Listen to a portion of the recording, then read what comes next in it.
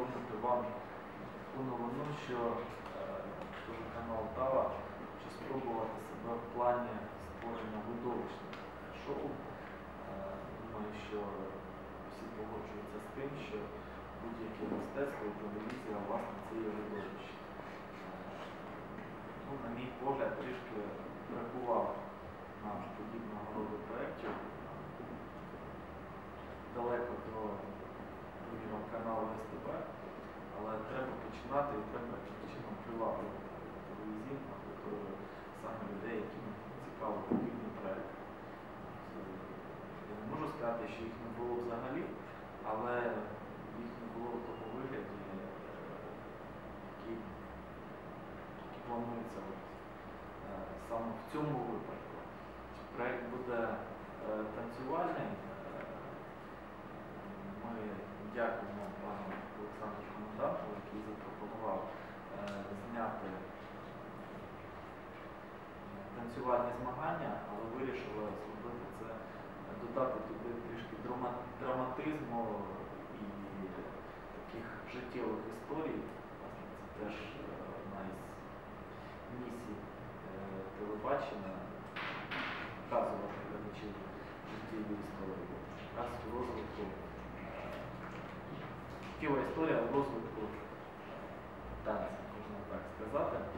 Е, Мовна назва шоу, подивіться, хто затанцював. Е, це проєкт, в якому будуть брати участь відомі в місті люди, і музиканти, і медійники, і бізнесмени, і художники, і громадські діячі. Протягом кількох тижнів вони... Земля фактично проходять підготовку е, до цього проєкту, вони працюють, вони навчаються е, працювати в парі, вони фактично фактично для себе освоюють навички е, танця.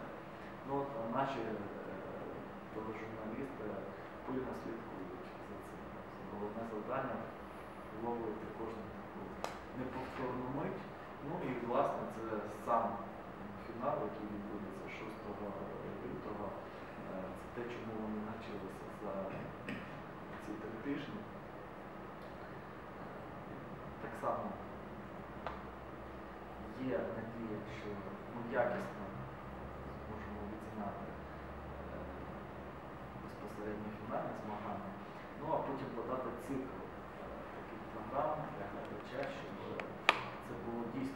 незвично, і це було незвичайно, це було цікаво.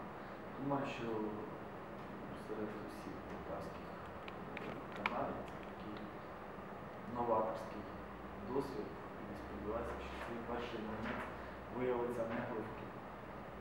Нам вдасться показати, що окрім е, традиційної школи журналістики, окрім традиційних документальних ну, історичних програм, ми ще можемо знімати. Е, програму видовищ, шоу-програму.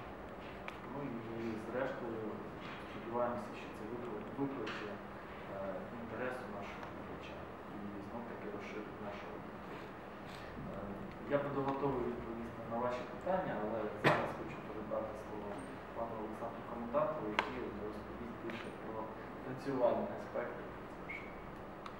Эм, добрый день. Первое, что хотелось бы сказать, это благодарность телеканалу «Лукава» и лично Евгению Романовичу, потому что поддержал э, наш проект. И это действительно совместный проект, который для Полтавы является уникальным. Он первый своего рода, проходящий в Полтаве. Э, действительно, социальные танцы, они э, эм, доступные танцы. Это, здесь не нужны профессионалы, которые там, воспитывались в каких-то специальных школах Олимпийского резерва и всю жизнь готовились. Эм, это танцы, доступные для всех, для всех возрастов, для любой физической подготовки. Э, люди к нам приходят и в 50 лет, и в 60 лет, которые никогда в жизни не танцевали. Э, через несколько месяцев люди уже могут танцевать на сальса-вечеринках и э, абсолютно не стесняются, у людей меняется абсолютно взгляд по жизни, они становятся более активными, они становятся более уверенными в себе. Любые парные танцы, они учат взаимодействию мужчины и женщины в жизни, то есть э, это своего рода маленькая учеба, которую люди проходят, когда тренируются.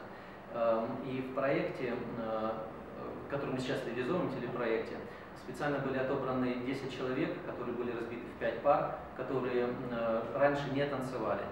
Эм, танец, который мы им ставим, он будет, ну, это танец бачата, а, фамилии мы вам пока этих людей не скажем, можем только сказать одно, что это известные люди, это с разных сфер, как сказал Евгений Романович, это и предприниматели, и э, в любом случае это известные люди для Полтавы.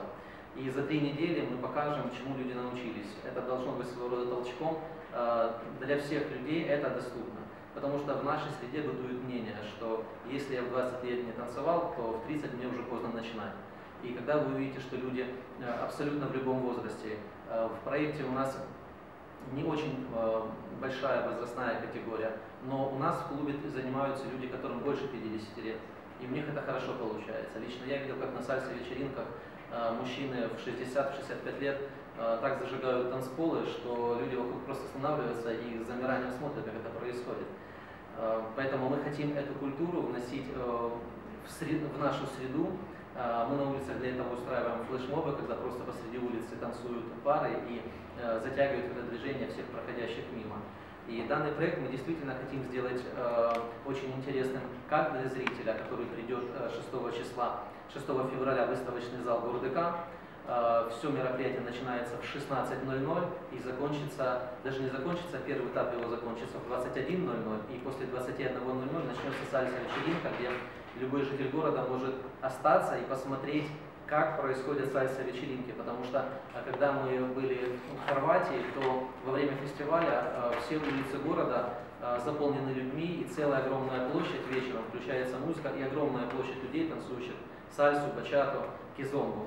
В Полтаве это движение не так давно пришло, но Полтава очень творческий город, очень много людей, которые себя хотят реализовать, и доступность социальных танцев как раз этому поможет.